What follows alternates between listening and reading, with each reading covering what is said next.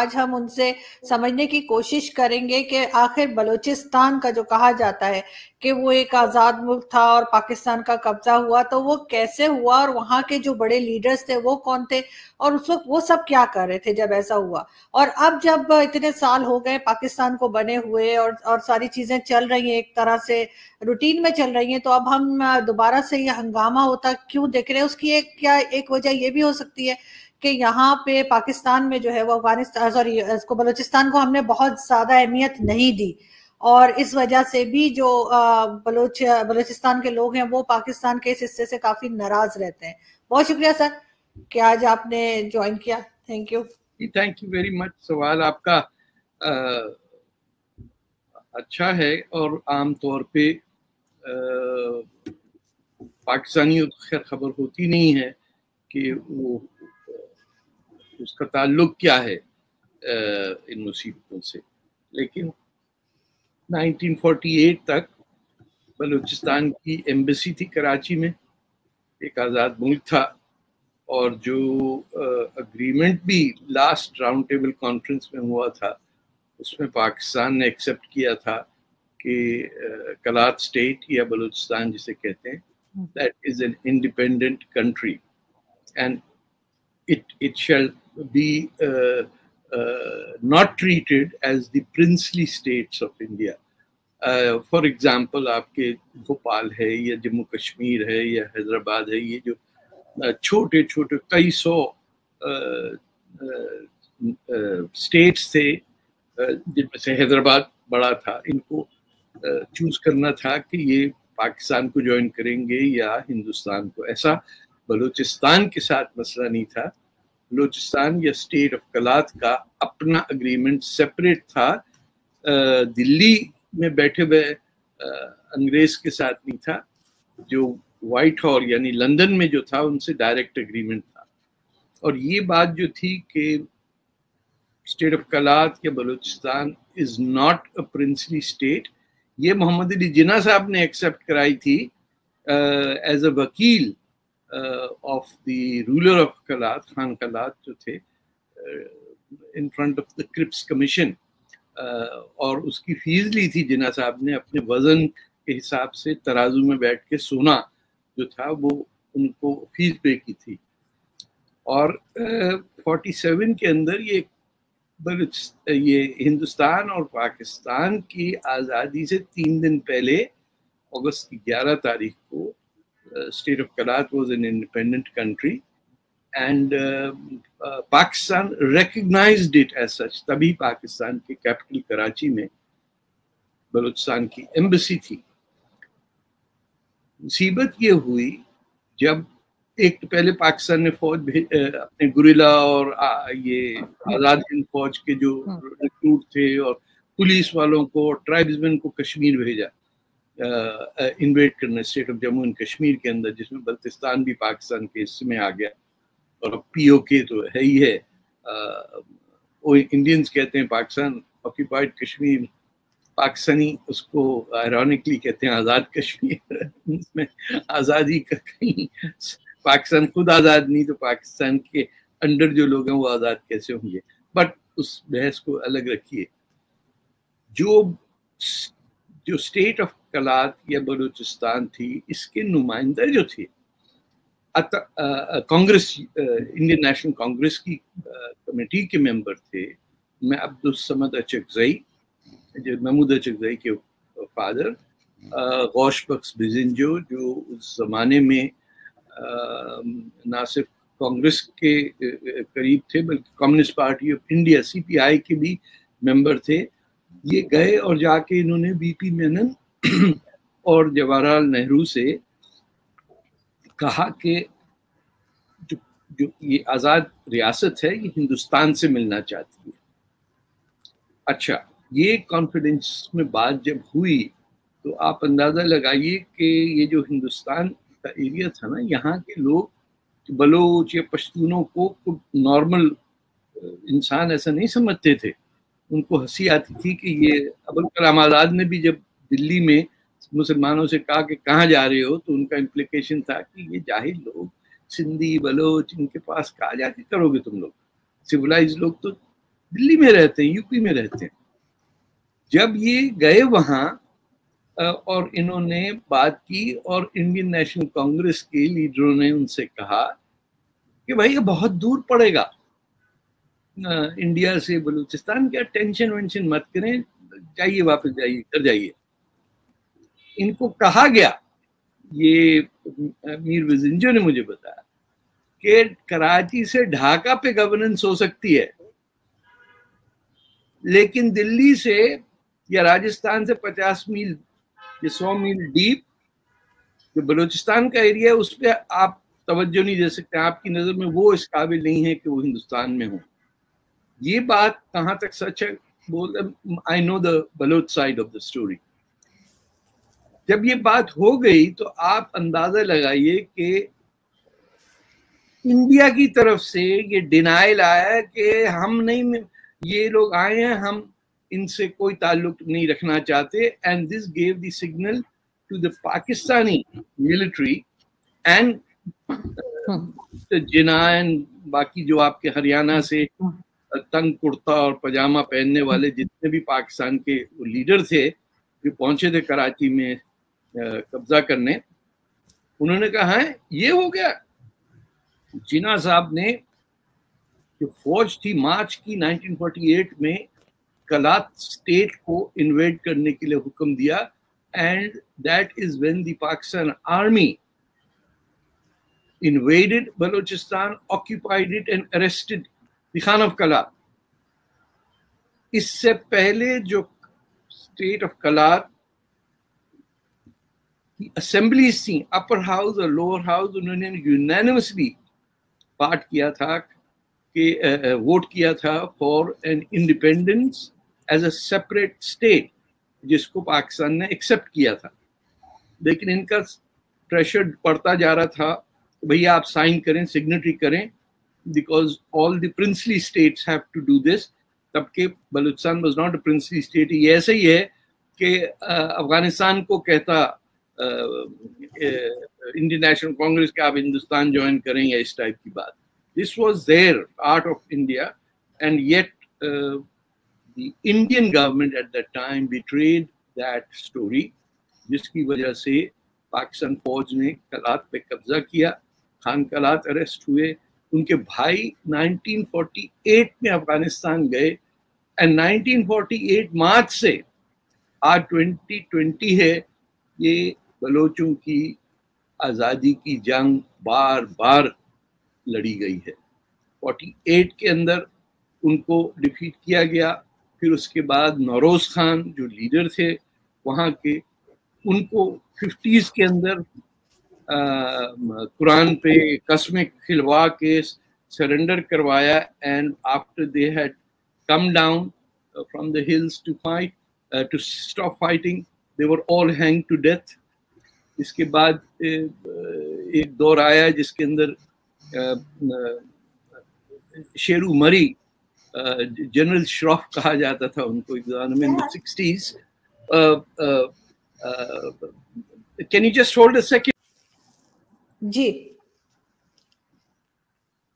तो 1948 तक तो जिना साहब ने एक्सेप्ट किया था कि ये एक आज़ाद मुल्क है, उसकी एम्बेसी थी कराची में, जैसे मैंने बताया। लेकिन जो बलूचिस्तान का एरिया था, उनके लीडर्स जो थे, जिनका इंडियन नेशनल कांग्रेस से ताल्लुक था, खासतौर पे ये अपने अब्दुलसमद अचकजई और Mir गौसबक्स बिजिंजो Achakzai Saab was Pashtun and he was a member of the Central Committee of the Indian National Congress or Washbaks Bizinjo. He was the Communist Party of India at that time. उनका खासा influence था even during the Bolshevik revolution काफ़ी बलोच वहाँ पे भी गए थे लड़ने के लिए बट ये जब वीपी मेनन और अपने नेहरू जी के साथ बातचीत हुई कि हम हिंदुस्तान के साथ मिलना चाहते हैं तो जहाँ तक मैंने मीर बजिंजो से सुना है कि वो इस बात पे सॉर्ट ऑफ़ नॉन सीरियसली इनको लिया कि इतना दूर कहाँ इंडिया है कहाँ बलूचिस्तान है। तो उनको समझाया गया कि कराची से एक हज़ार मील दूर ढाका पे तो वो पाकिस्तान को कोई मसला नहीं है, अपनी एक मुल्क का आप ज़्यादा से ज़्यादा सौ मील दूर हैं राजस्थान के बॉर्डर से बलूचिस्तान तक। और आप कह रहे हैं कि ये बहुत दूर है, लेकिन आप अंदाज़ा लगाइए कि इंडियंस को का एटीट्यूड जो था उस वक्त, वो ये जो नॉर्थ वेस्ट एरिया के लोग हैं जिसको अपने अब्दुल सलाम अब्दुल, ये मौलाना आज़ाद ने भी बड़ा हिकारत से कहा था, दिल्ली के मुसलमानों को कहाँ जा रहे जाहिलों के पास? तो they had a very low opinion about these people वो ज़्यादा को इनको सिविलाइज ऐसा नहीं समझते थे, उन्होंने भगा दिया वहाँ से। अब ये भी सोचिए कि सल्तनत ऑफ़ ओमान का जो हिंदुस्तान के अंदर एक हिस्सा था, जिसे गवादर शहर कहते हैं, वो उन्होंने ऑफ़र किया इंडिया को कि आप हमसे खरीद लें। उनको भी रिफ्यूज किया। इंडिया ने कह दिया, नहीं चाहिए भैया, ले जाओ कहीं। तो Pakistan government then bought it and आज जो गवादर पे पूरी दुनिया चाइना की navy, India, Pakistan, gulf state सब चौकन्ना बैठे हुए हैं। आप अंदाज़ा लगाइए, इंडिया के हाथ में था और जो आपकी लीडरशिप थी दिल्ली में, उनको नहीं पता था कि ये क्या करना है। They were too Indocentric is the only word I would say क्योंकि वो तो सिंध में भी जिस जिसका वर्ड उनके नेशनल एंथम में है, उस तक पे भी उन्होंने कोई इसरार नहीं किया। तो ये मामला वहाँ से हटके जब इंडिया ने ऑल इंडिया रेडियो पे डिनाई किया कि हमारी कोई बातचीत नहीं हो रही है बलोच लीडरों से it was an indication to the Pakistan government कि भाई आपके लोग हमारे पास यहाँ आए हुए क्योंकि ये सब actually former Indian National Congress के लीडर थे ना चाहे जिना साहब हों या कोई भी हो ये तो बाद में अंग्रेज़ के कहने पे पाकिस्तान की तरफ़ लियाकत अली खान और ये सब लोग चल पड़े। तो जब ये बात हुई तो पाकिस्तान गवर्नमेंट जिना साहब की हुकूमत थी उस वक्त, गवर्नर जनरल थे पाकिस्तान के। पाकिस्तान के क्या से लीडर थे, वो तो क्वीन के रिप्रेजेंटेटिव थे। Governor general is not the prime minister. उन्होंने फौज को भेज के कलात शहर पे ऑक्यूपेशन हुई।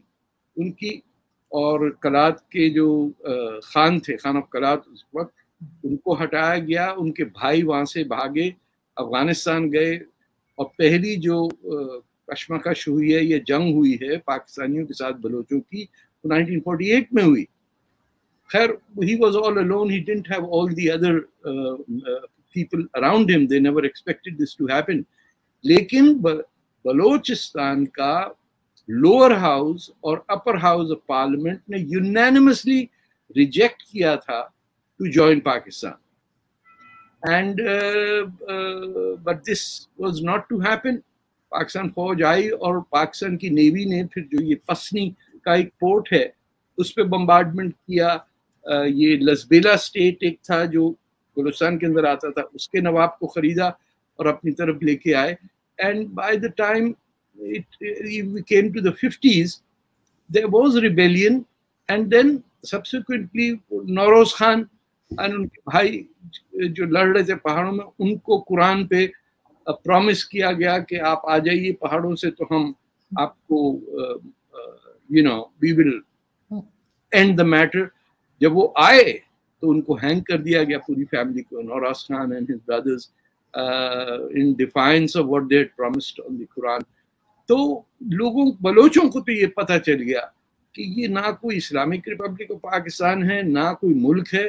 ये वेस्टर्न इन्फ्लुएंस का नतीजा है। ये बरतानिया ने बनाया एज अ बफर स्टेट ताकि सोवियत यूनियन और इंडिया का और किंग ज़ाहिर शाह का कॉमन बॉर्डर ना हो सके। It was very clear from these people मैं इसलिए कह रहा हूँ कि I was very young when these people at the seniors and इनसे हमारा उठना, बैठना हुआ प्रिजन जेल के अंदर भी मत जेल में भी खैर बख्श मरी से बातचीत होती थी and we know what the background is उसके बाद आप सोचिए कि इन सिक्सटीज फिर जंग छिड़ती है, और उस वक्त जो लीडर था उनका बलोचों का better known as general Shroff क्योंकि वो शेरू मरी थे।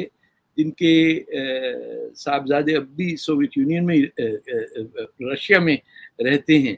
उनकी बगावत हुई, एक बड़ी फ़ेमस तस्वीर भी है, ये लोग सब खड़े हुए अपनी राइफलों के साथ।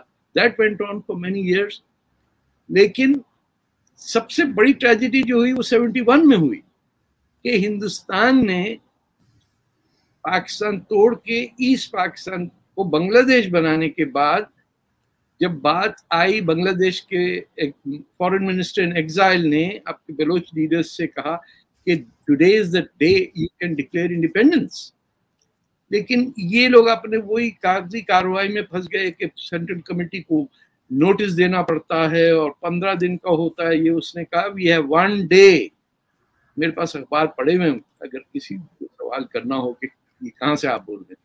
I have all the documentation but they were caught up in their drawing room politics national army party जो वली खान साहब की थी and subsequently it never happened लेकिन जो फौज इंदिरा गांधी ने पाकिस्तान को वापस तोहफे में दी क्योंकि अपने जुल्फ़कार अली भुट्टो इतने हैंडसम थे और बेनज़ीर माशा अल्लाह वो भी शिमला गई हुई थी लोग वाह वाह वाह वाह कर रहे थे। लगता ही नहीं था कि ये दो मुल्कों की अभी वॉर हुई है। उन्होंने उठा के सारे वॉर क्रिमिनल्स को पाकिस्तान के हवाले कर दिया Indian army did not try any war criminals neither did they give them the Bangladesh army or the Mukti Bahini at that time. Hmm. It's quite a shocking betrayal. By India मैं आपको बता रहा हूँ कि इसमें इन हिंदुस्तान का role को ऐसा नहीं है कि वो लोग बड़े इंसाफ पसंद थे उनका हाथ था they didn't consider the Baloch as part of them हालाँकि अहमदाबाद और ये गुजरात स्टेट और उसके नीचे Maharashtra further down the coast there are large Baloch settlements over there एक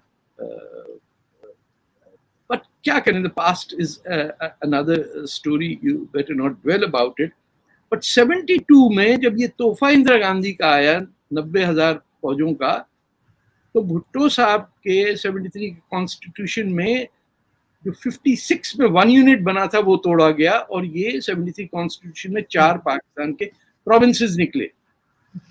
और बलूचिस्तान की अपनी गवर्नमेंट बनी for the first time elected वहाँ से। ये 1970 के इलेक्शन में हुई थी। And Sardar Ataullah Mengal was the chief minister लेकिन भुट्टो साहब ने वहाँ सिविल वॉर कराई। लजबेला के अंदर रिबेलियन हुआ अगेंस्ट द बलूचिस्तान गवर्नमेंट और फिर पाकिस्तान की फौज जो आई थी, जिसको कुछ का, काम नहीं था, वो उनका मज़ाक उड़ाया जाता था, क्योंकि वो ऑल इंडिया रेडियो पे आया करता था एक प्रोग्राम हम सब खैरियत से तो जहाँ से भी पाकिस्तानी फौजी गुजरते थे, हम लोग कहते थे, हम सब खैरियत से उन्होंने वो फौज वहाँ भेजी। दे टॉपल द गवर्नमेंट आप सोच नहीं सकते किस तरह के मेजोरिटी लेने के लिए पीपल्स पार्टी का तो वहाँ से कोई इलेक्ट ही नहीं हुआ था। उन्होंने जो मेंबर्स ऑफ़ पार्लियामेंट थे, उनको असैसिनेट किया और उनकी मेजोरिटी कम की। एंड वहाँ जो बाई इलेक्शन होता है, उसके अंदर आ गए सब। उस क्वार्टर के अंदर 72 I used to work in Pakistan television वहाँ क्वार्टर टीवी भी शुरू हुआ था। I am quite you know aware of what happened हमारे दोस्त वहाँ मेडिकल रिप्रेजेंटेटिव से जो है, दवाइयाँ भी बांटते थे ये गुरेलाज के अंदर। लंदन में भी एक कमेटी थी पाकिस्तानी की who are involve fight for freedom जो नॉन बलोच लोग थे। आप ये सोचिए कि गवर्नर ऑफ़ बलूचिस्तान का जो प्राइवेट सेक्रेटरी था he was a gentleman from Malabar B M Kutty sahab. थे जो कराची में रहते थे। So it was an incredibly progressive government उन्होंने ये तक तय किया कि हमारा स्क्रिप्ट जो है हम रोमन स्क्रिप्ट करेंगे सोमालीज और मैलेज और टर्क्स की तरह ताकि मॉडर्न टाइप टाइपराइटर को टेलीप्रिंटर को हम यूज़ कर सकें। That was said to be a violation of Pakistan essential पता नहीं क्या क्या क्या और काफिरिस्तान और इस चक्कर में फौजों को भेज के वहाँ मैस मर्डर कराया गया। And all these leaders got arrested और हैदराबाद ट्राइब्यूनल केस चला इनके ऊपर। वली खान भी थे बिजंजो भी थे अताउल्ला मेंगल बख्श मरी, ये सब लोग they were behind hundreds of prominent leaders were arrested and put in jail और वो हैदराबाद ट्राइब्यूनल केस चला which ended only when mister Bhutto's regime was toppled by general Zia तो हैदराबाद ट्राइब्यूनल केस खत्म हुआ and these people came back in exile in Afghanistan at that time ये सब वापस आए। And but the struggle never ended latest जो है वो तो uh, आपके अकबर बुट्टी uh, नवाब अकबर बुगटी और uh, के बड़े बेटे uh, मैं the name escapes me Mehran Marri के बड़े भाई हरबियार के बड़े भाई, इन दोनों को असैसिनेट किया गया, उसके बाद तो चल सो चल है। अभी तक वॉर हो रही है। अभी जो लेटेस्ट नोशकी और पंजगूर के अंदर हुआ, ये शो करता है कि अब वो जो एग्जाइल लीडरशिप है, उनके हाथ में भी कुछ नहीं है।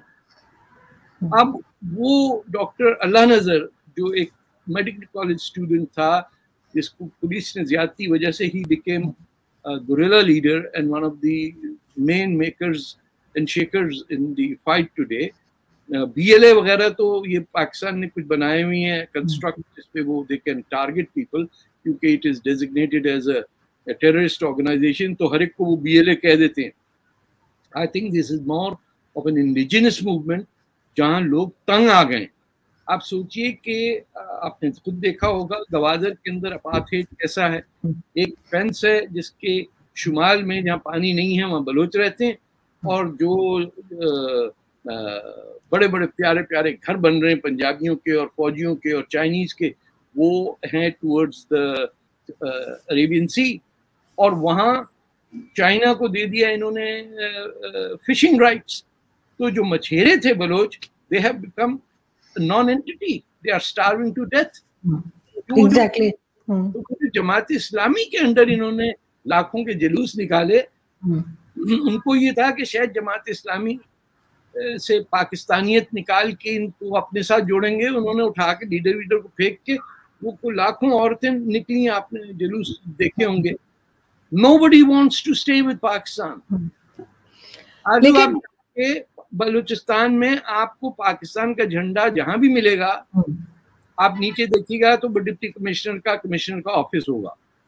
It is nobody values Pakistan flag they have their own flag Balochistan is far older place than Pakistan was ever was उनकी जबान बलोची है उनके ट्रेडिशंस अलग हैं उनकी उनका मुल्क जो है, उस पर अफ़गानिस्तान और ईरान का भी कब्जा है। उनका they were the main defence of invaders into Bharat या हिंदुस्तान या इंडिया ऑफ़ दैट टाइम लेकिन मुझे मुझे एक चीज़ एक चीज़ और मुझे यहाँ पे बताइए सर कि जब भी कोई इस तरह की मूवमेंट उठती है चाहे पाकिस्तान में बलूचिस्तान की हो चाहे हिंदुस्तान में आ, वो, वो जो सिखों की मूवमेंट होती है वो उठे चाहे खालिस्तान की तो ये दोनों लोग एक दूसरे कंट्रीज़ की तरफ़ क्यों देखते हैं? खालिस्तान वाले ये क्यों समझते हैं कि पाकिस्तान मदद करेगा और पाकिस्तान ऐसा क्यों बात करता है? कि बलोचिस्तान में इंडियन इन्वॉल्वमेंट है? बार बार ये क्यों कहा जाता है? खालिस्तान तो है ही पाकिस्तानी मूवमेंट वो तो उसमें कुछ छुपाने की भी बात नहीं वहाँ तो उनकी लीडरशिप और ISI is one and the same और बलूचिस्तान का क्या कनेक्शन है इन इंडिया से इंडिया वालों? मैं वहाँ जे में पोस्ट ग्रेजुएट पोलिटिकल साइंस की क्लास में पूछा people tell the difference between Baltistan and Balochistan. India has no appetite for going across anyone's border पाँच हज़ार साल में इन्होंने कभी किसी को इन्वेड नहीं किया और हमारा जो जहनीत है हमने किया ही सिर्फ़ इन्वेड है। क्योंकि हमने ठेका लिया हुआ दुनिया को इस्लाम की का बुरका पहनाने का। ये तो वहाँ सर वहाँ के जो वडेरे हैं या वहाँ के जो मकामी जो बड़े बड़े लोग हैं बड़े पैसों वाले वो सब क्या कर रहे हैं? वो अपने लोगों को बलूचिस्तान के? बलूचिस्तान के। बलूचिस्तान के कौन से वडेरे हैं? कहाँ जैसे नवाब नवाब अकबर बुक्टी साहब थे और दूसरे कई लोग हैं। नहीं हाँ, किस किस को मारेंगे आप? एक मिलियन दो मिलियन तीन मिलियन की आबादी है। आपसे ज़्यादा बलोच से ज़्यादा चाइनीज़ आपको आपको याद होगा वो अक्सर सुई गैस की पाइपलाइन उड़ाते रहते थे कि जी हमें जो है वो पैसे नहीं मिले हैं और वो पाइपलाइन अक्सर पैसे नहीं मिले आपके घर में जो चूल्हा चलता है ना आरज़ू हम्म। वो आप बलोचिस्तान का माल लूट लेंगे घर में बिठा के। हर नाजमाबाद के हर घर में पिंडी इधर उधर गैस के चूल्हे चल रहे हैं। Ever seen I understand. I I understand लेकिन आपको लगता है कि अगर उनको पेमेंट की जाती उस हिस्से को नहीं है। सही होता नहीं होता। क्यों होता? भाई उनकी आज़ाद मुल्क है आपने उस पर कब्जा किया आप कह रहे हैं कि अच्छा खैरात ले लो हमसे। हाँ। आपको तो अजीब नहीं लगता ना कि कोई मुल्क किसी पे कब्जा करे क्योंकि the Muslim mind is that we will conquer everything तो जब आपके जहन में ही नहीं आता है, इंसान की वक़्त क्या होती है? आप मुझे को बताइए, पंजाबी जिसका नाम बरमदाग हो या हिरबियार हो। आप रखते हैं अपने नाम अरबों के, है ना? वो रखते हैं अपने इंडिजिनस नाम। इसीलिए आप उनकी रिस्पेक्ट नहीं करते तो neither you because Punjabis and the Urdu speaking elite of Pakistan doesn't know how to respect themselves they get upset कि ये अपने आप को क्यों रिस्पेक्ट दे रहे ये पश्तून और जो बलोच हैं इनको क्या ज़रूरत है कि अपनी जबान के लिए लड़े और अपने कल्चर और हेरिटेज की बात करें ये क्यों हो जाते हैं लखनऊ के वो लियाकत अली खान। चूड़ीदार पजामा और कुर्ता पहन के इधर से उधर पान फेंकते हुए चले जाएँ आप जो शहर धुलते थे रोज वो धुल गए पीक, पान की पीक में। कराची वो माइक कुलाची उसका नाम है। बलोच बलोचों का शहर है। उनको हटा के लियारी में डाल दी और बाकी सारे कह रहे हैं कि भाई यहाँ वो होगा। उर्दू का वो पैलेस बनेगा यहाँ पे। बना लीजिए। लेकिन सर, एक ऐसी फौज जिसके बारे में बार बार कहा जाता है कि इन्होंने कोई जंग नहीं जीती, हर जगह से ये सेवेंटी वन वॉर भी हारे, सारी जंगे हारे, कहीं पे कुछ किया नहीं जाता इनसे। उन्होंने अब जो है वो बलूचिस्तान पे ऐसे कैसे कब्जा कर लिया जबकि अंदर के लोगों का साथ ना हो जो जो वहाँ के मकामी लोग आपके पास फौज है टैंक है जहाज़ है आप कह रहे हैं कब्जा कैसे कर लिया उन्होंने? तुर्की ने कुर्दिस्तान पे कैसे कब्जा किया हुआ? अजेरियों ने और तुर्कों पाकिस्तानी ने मिलकर आर्मीनिया पे कैसे कब्जा किया हुआ? जिसके हाथ में बंदूक होती वही करेगा ना? और फिर कल किसी ने मुझसे पूछ लिया कि ये तो बलोच तो फायर आर्म से बड़े। अरे, आपका इमेज बना हुआ है कि हर बलोच जो है तोप पे बैठा हुआ वहाँ कोला नहीं है, चूल्हा चलाने के लिए लकड़ी नहीं है, पानी पीने को नहीं है। आपने तय कर लिया कि ये तो बड़े, पता नहीं अनसिविलाइज किस्म के लोग हैं, हमें तो बस लखनऊ चाहिए यहाँ। बस छोटे छोटे लखनऊ बन जाए, पंजाबी भी उसमें कुर्ता पजामा पहन के You know, this is absolutely racist, bigoted country on earth, Islamic Republic of Pakistan. ना इस्लाम ना रिपब्लिक और ना उसमें कुछ चीज़ पाक है लेकिन सर इसका लास्ट में यही मैं पूछूँगी कि इनका क्या फ्यूचर क्या नज़र आ रहा है आपको बलूचिस्तान के लोगों का? क्या कभी ये अपनी मर्ज़ी से रह पाएँगे? क्या कभी इनको हक मिलेगा पाकिस्तान खत्म होने वाला है। आपको अच्छा लगे ना लगे सेंट्रीफ्यूगल फोर्स जो होती है that's splinters things on the outside and throws them apart. आपका नाम तो संस्कृत से है, स्थान। पाक आप है नहीं, पाकिस्तान कहाँ से हो गया आपका? जो पाकिस्तान जिन्होंने बनाया, उन, उन्होंने अपना नाम बांग्लादेश रख लिया। जो गफ्फार खान इलेक्टेड थे खुदाई खिदमतगार वाले, उनको जेलों में बंद करके बड़बरा में क्या किया वो? जिना साहब की अपने ऑर्डिनेंस के तहत You shot dead 450 people and then charged them for the bullets. ये फ्रंटियर में हुआ, सिंध में क्या हुआ? चीफ मिनिस्टर अल्लाह बख्सुमरू को असैसिनेट नहीं किया। और फिर पंजाब की मिनिस्ट्री नहीं हटाई। ममडोट साहब की मिनिस्ट्री को दौलताना से कह के उनको टॉपल करवाया। वहाँ का मुस्लिम लीग की गवर्नमेंट थी? मुस्लिम लीग थी यूपी बिहार ये उर्दू बोलने वाले और बंगाल नथिंग एल्स देयर बलोचों का क्या ताल्लुक है पाकिस्तान से? अपना वज़न सोने में, तराजू में बिठाकर खान ऑफ़ कलात को रिप्रेजेंट किया जिना साहब ने as a lawyer towards Cripps commission जिसने तय किया कि बलोचिस्तान या state of Kalat is not like a princely state it is not a princely state like any other जैसे जोधपुर है या स्टेट ऑफ़ जम्मू कश्मीर है या भोपाल या Hyderabad no state of Kalat had direct uh, uh, uh, treaties with the British in Whitehall यानी London से। उनका कोई जो दिल्ली में बैठे हुए राजकुमार से कोई ताल्लुक नहीं था उसका। ना आपके वाइस रॉय जो बनते थे। they were they had separate treaties with great britain and that is what they invoked कि who will who will inherit those treaties तो जिना साहब ने कहा मैं क्वीन का रिप्रेजेंटेटिव हूँ किंग का you know that that he did जिना साहब didn't want to be prime minister of pakistan he wanted to be the king's representative in pakistan तो बेचारे हमारे लोगों को तो पता ही नहीं गवर्नर जनरल क्या होता है और प्राइम मिनिस्टर क्या होता है नहीं ये चीज तो है हमारे जी। प्राइम मिनिस्टर पाकिस्तान का कभी पाकिस्तान में नहीं रहा था। हम्म। वो हरियाणा से आया था लियाकत अली खान। नहीं बिल्कुल और शायद इसी वजह से लोगों को अभी तक ये भी समझ में नहीं आता है कि आखिर बलूचिस्तान में क्यों प्रॉब्लम है और वहाँ के लोग क्यों इस तरह के प्रोटेस्ट करते हैं? हम कहते पता नहीं जी भारत भड़का रहा है भारत सिखा रहा है भारत भेज रहा है। को क्या भड़काना भारत ने गोवा पे हमला करके कर लिया हम्म। बहुत तोप चला ली। भारत पे बंबई पे हमला करने के बाद भारत कुछ नहीं कर सका। भारत क्या कर लेगा?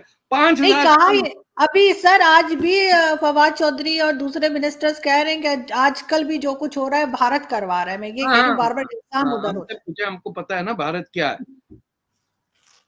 उनका हर लड़का एमबीए कर रहा है उनको कोई ताल्लुक कोई इंटरेस्ट नहीं है कि सिक्योरिटी काउंसिल के वो मेंबर बन जाए नथिंग हर एक का है कि रिटायरमेंट के बाद फ्लैट कैसा मिलेगा। I am sorry to my Indian viewers but आप भी कोई तोप ऐसी नहीं चला रहे आपको पता ही नहीं है बलोचिस्तान है कहाँ?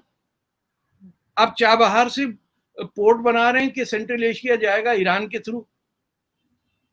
ईरान आपको लग रहा है ठीक बताइए।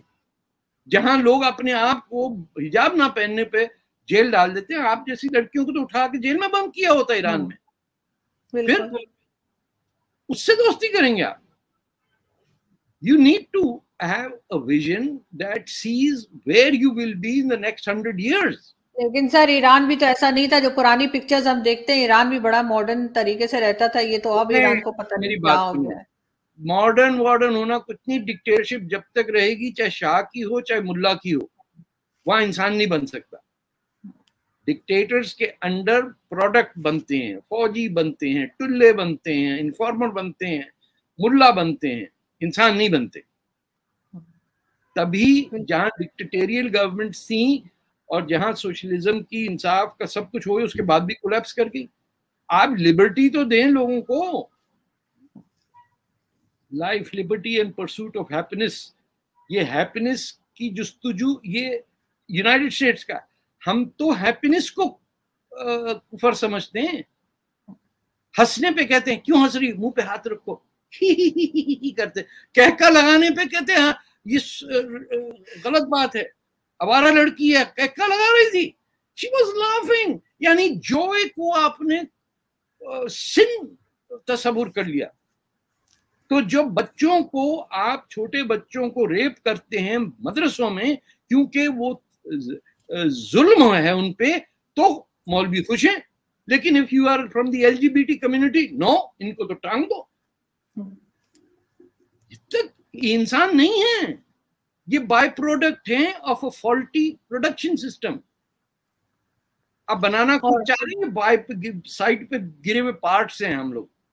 बलोचों से हमको दुश्मनी है क्योंकि हम्म। उनको अपनी जबान और अपना मुल्क चाहिए। ये को हद हो गई। फलस्तीन पे लगे हुए खुद कब्जा किया बलूचिस्तान पे। खुद कुर्दिस्तान पे कब्जा किया। हम्म। खुद बंगाल में स्लॉटर किया। और आज़ादी किसकी चाहिए?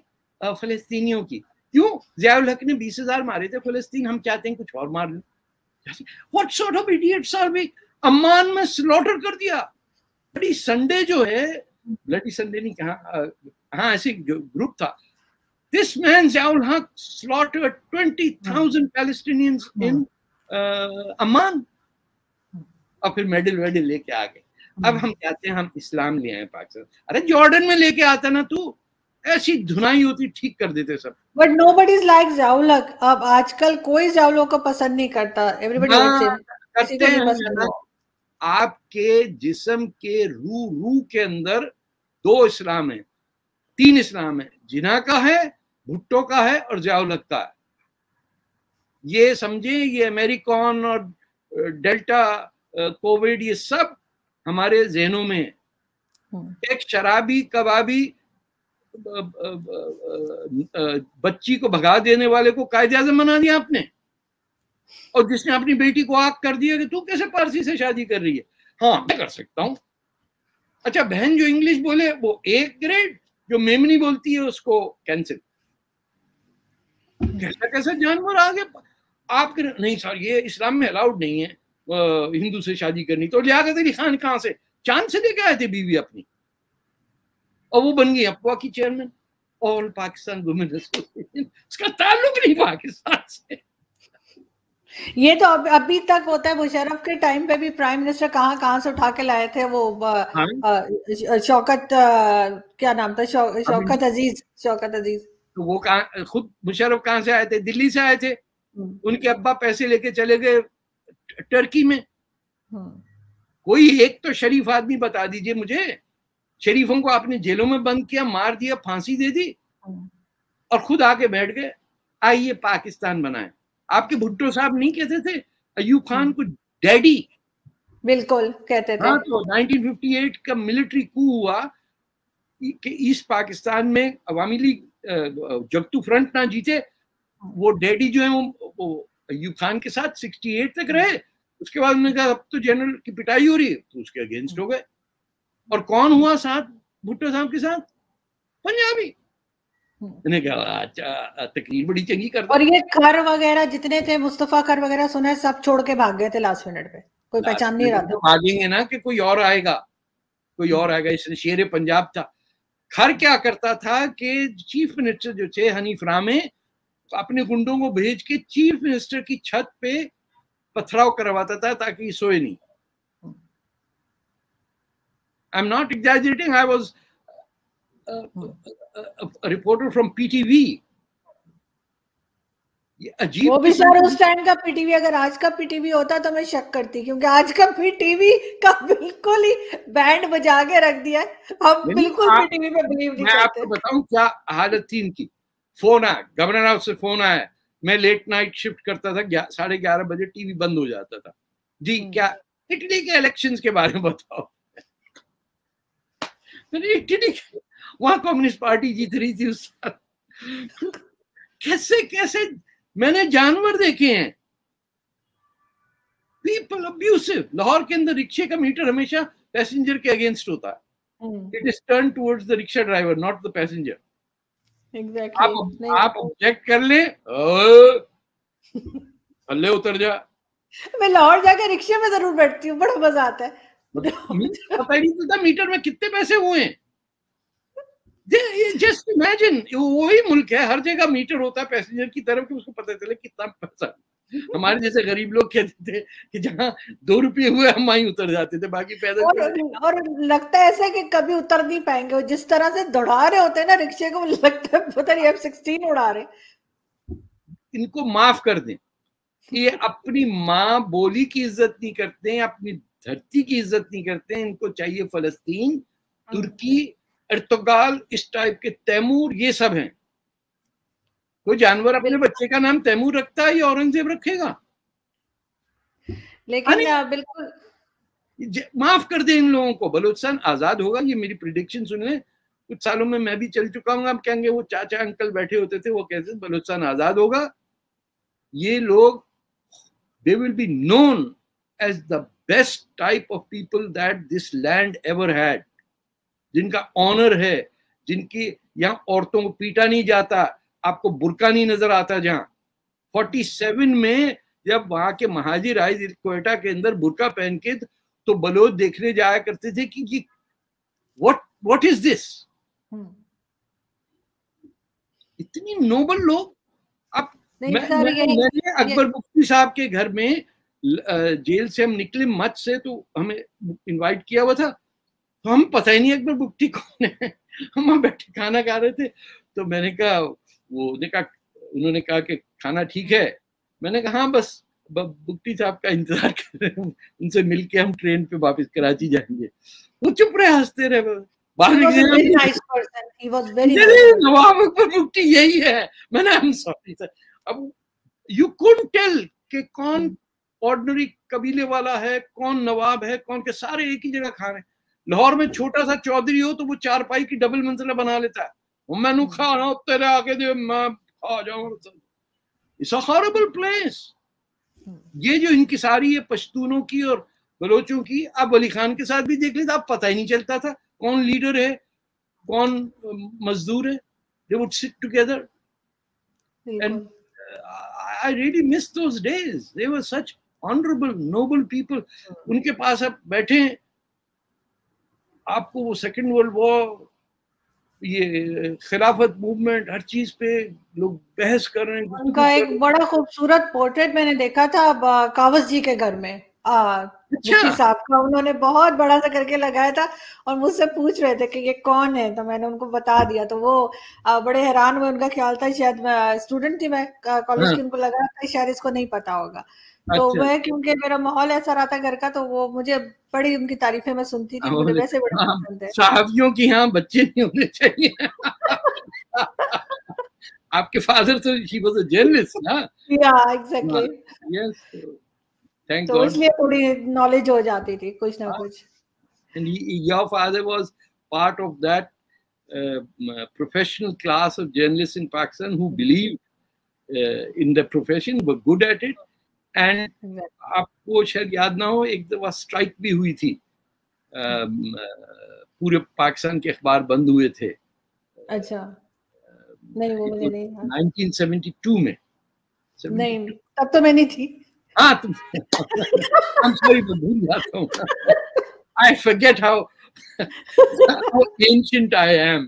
हाँ लेकिन उनके सारे दोस्तों को आप जानते हैं बेकार जवार अंकल और हाँ, जवार हुसैन ने कान से पकड़ के पुलिस आ गई। मैंने स्टोरी छाप दी कि वो 71 की वॉर में कैडेट्स जो थे वो बगावत कर गए थे कराची में। 71 की इंडिया पाकिस्तान वॉर में कैडेट्स। भाग गए। तो मैं स्टोरी छापी पुलिस आ गई तो हम्म। वो कि कहाँ है? कौन है ये? तारिक प्रताप तो वो जो एडिटर थे मेरे के पता हम्म। यार एक तो तुम लोग लेट आते हो। अभी सुबह फायर किया उसे मैंने। कम वक्त कैसी स्टोरी लगा दी? अच्छा मैं वहीं बैठा हुआ चुप करके। फिर वो जब फौज और वो पुलिस चले गए तो वहाँ से मिस्टर फतेह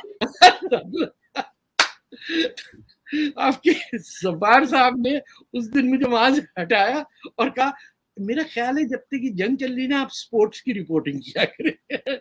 टेबल टेनिस और मेरे फादर बताते थे कि पता नहीं कहाँ पे रुके थे कोई हिल स्टेशन पे तो दो दोनों तरफ़ पे स्टेयर्स थी ना रूम्स की मतलब जाने हाँ। के लिए। तो वहाँ पे कोई अंग्रेज़ रुका हुआ था दूसरी तरफ़ उनका दोस्त था उनको जानता था। तो हाँ। मोहरम था फ़र्स्ट मोहरम था। उसको ये बस पता था न्यू ईयर है। इस्लामिक तो वो हाँ। जवान अंकल निकले तो उसने दूसरी साइड से ज़ोर से कहा Jawar Hussain happy new year happy Muharram कुछ बोल दिया जवार अंकल को जिस जबान की जितनी गालियाँ आती थी वो सारी he was a brilliant man, Zabar Saab. He, he was, was exactly. one of the uh, finest uh, sports writers and uh, uh editor as well. Mm. बिल्कुल बिल्कुल